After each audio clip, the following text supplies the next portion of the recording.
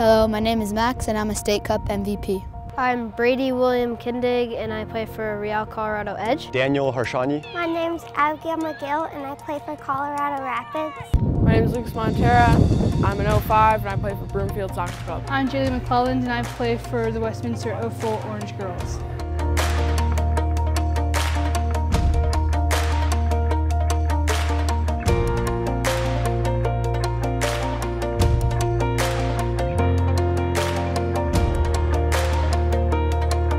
I feel like very honored to be the MVP, but like I couldn't have done it without all the help from all my teammates because they were like with me the whole time and they helped me score. It was just kind of great to represent our club. You kind of showed who you are and then MVP, like that's really big. Only two players.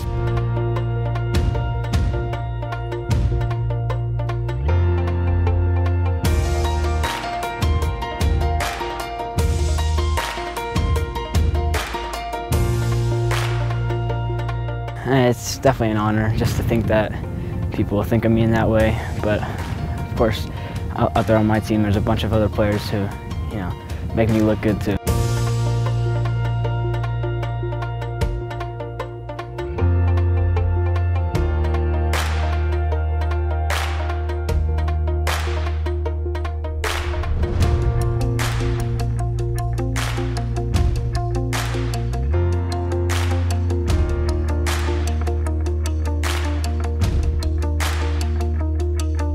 Felt really honored. I was I was really excited too because you know I love that team and to be nominated MVP it just meant a lot to me. I don't know. I guess it made me feel really good as well because you know it showed that I was actually a pretty good player.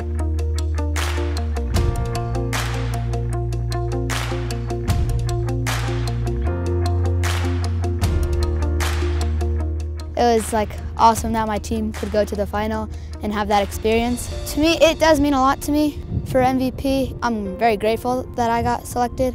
I was really happy because my sister has been in state cups and she's never been MVP, so I just wanted to get it. I want to play in college and then maybe be on the U.S. women's team.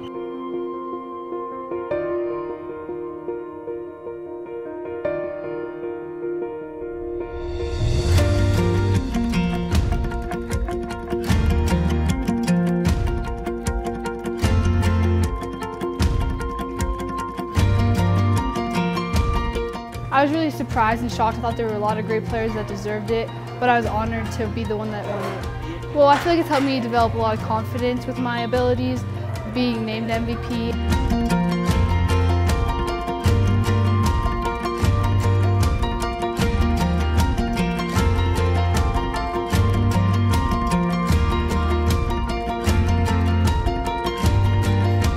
I feel like um, after you know playing soccer since I was a little kid, I felt like you know I finally like achieved something big. Just whatever you put your mind to, you can do, and it's all about working hard and showing who you are. By doing this is like a step moving forward and I should keep keep on getting better and hopefully making my dreams happen. We've been playing this tournament for multiple years and to have say you won it, it's the biggest thing I think in Colorado.